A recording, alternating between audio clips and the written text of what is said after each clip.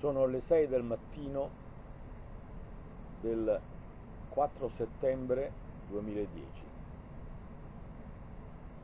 È tutta notte che io ho sognato di questi argomenti e mi sono dovuto alzare presto perché normalmente mi alzo due ore dopo per raccontarvi una cosa importante che se non ve la racconto io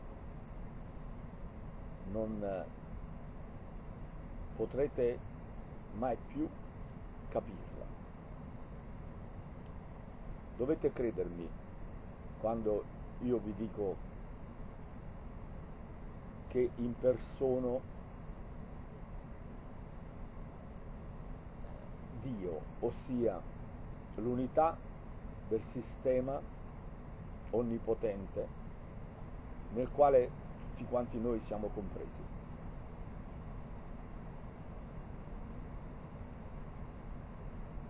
È un sistema onnipotente che prevede ogni possibile presenza e la cosa eccezionale sarebbe se in questa presenza che poi appare a tutti noi attraverso il nostro modo personale di esistere, non esistessero anche le due persone uniche in tutta la creazione delle persone, tutte uguali e distinte tra loro, che impersonassero l'unità del sistema, visto dai due punti estremi del padre e del figlio. Il padre e il figlio dovete considerarli come il 10 e il 10 elevato a meno 1. Quando Gesù vi ha raccontato che l'accettazione della vita avrebbe avuto per ricompensa il centuplo qua giù, questa espressione ideale che esprime in modo compiuto e perfetto il centuplo come il massimo premio possibile per ciascuno di noi, corrisponde veramente ad una potenza, di una potenza, di una potenza, di una potenza, in cui ci sono in tutto 101 10. Uno di essi è alla base di 100 altri, ossia abbiamo un 10 elevato a 10, elevato a 10, elevato a 10, elevato a 10, elevato a 10 e quando li contiamo tutti abbiamo il numero di 110 come potenze e un 10 come la presenza della base. Ecco, questo è il sistema generale completo di tutta una esistenza che poi appare infinita. Appare infinita e lanciata nel tempo quando il sistema assoluto 10, che essendo assoluto è in sé comprensivo di tutto, anche tutto il tempo, si presenta nel modo unitario di nove parti a numeratore del denominatore 1. Quando 10 si divide per 9, dà luogo ha due visioni. Una che appare ed è il risultato 1,11111 all'infinito.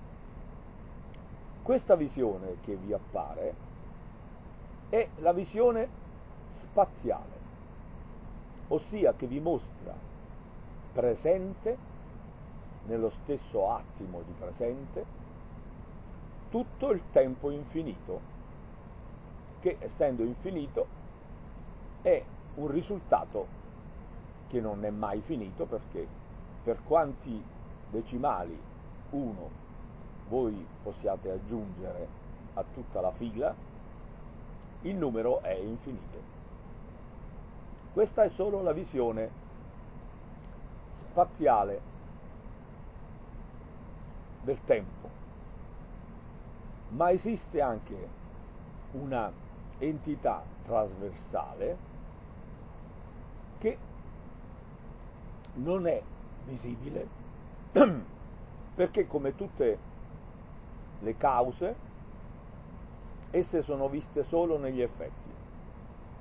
La causa 9 è all'origine di questo effetto 1,111 nella divisione di 10 diviso 9. È il 9 che causa l'infinita presenza nel tempo decimale, che noi vediamo, possibilmente scritto anche, come una sequenza di 1,11111 che esistono tutti, ammesso di poterli vedere. Ecco, nella sezione trasversale, a livello del primo valore, c'è una sezione del primo valore diviso, c'è una sezione che vale 3 per 3. A livello della seconda sezione, quella corrispondente al valore decimo, la sezione non vale più 3 per 3, ma 33 per 33 alla terza cifra ci sono tre cifre del 3, cioè 333 per 333 e così via. A mano a mano che la cifra diventa la quarta, la quinta, eccetera, avremo 4, 3, 5, 3 e tutto ciò porta nel giro di tre operazioni ha un intervallo tra un tempo di divisione e quello successivo che presto assume il valore di 100, virgola e un valore di divisione che è sempre quello, ma sempre più dilatato da una quantità di zero che progressivamente si aggiungono e dilatano le cifre diverse da zero. Vi ho spiegato che in questo modo la percezione che noi abbiamo la possiamo vedere nel risultato 1,11111. Ma questo è il tempo. E come tutto il tempo, noi possiamo rappresentarlo, ma non lo vediamo. Infatti, dobbiamo considerare che questa divisione 1,1111 non è collocata nel piano perpendicolare alla nostra vista, ma secondo la direzione dell'asse profondo della vista.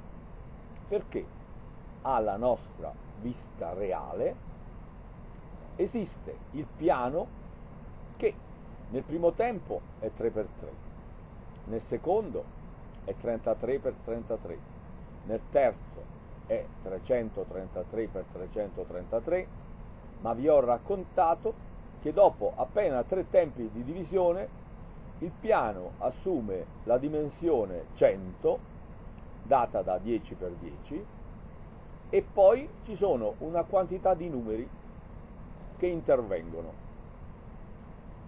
Quando una visione è ottenuta in questo modo, in cui l'intervallo tra una sezione e quella successiva è determinata da un certo incremento, sempre costante, noi abbiamo la visione di un frattale. Voi avrete visto tutti quanti i frattali come sono fatti che immagine presentano? Proprio quella di un universo in progressiva crescita, ma è una crescita che rappresenta in un certo modo un nostro avvicinamento alla realtà osservata, un avvicinamento sempre più profondo, come se noi viaggiassimo nell'universo e ci avvicinassimo sempre a livelli più piccoli all'interno di questo universo, fino a focalizzare la nostra attenzione su un unico pianeta, la Terra, nel quale siamo tutti compresi. E poi alla definizione successiva che nell'ultimo stadio vi presenta a tutti voi osservatori, ci presenta a tutti noi osservatori, quel frattale che è il mondo che stiamo vivendo e che stiamo vedendo. Noi stiamo assistendo veramente alla visione frattale dovuta alla frazione 10 diviso 9.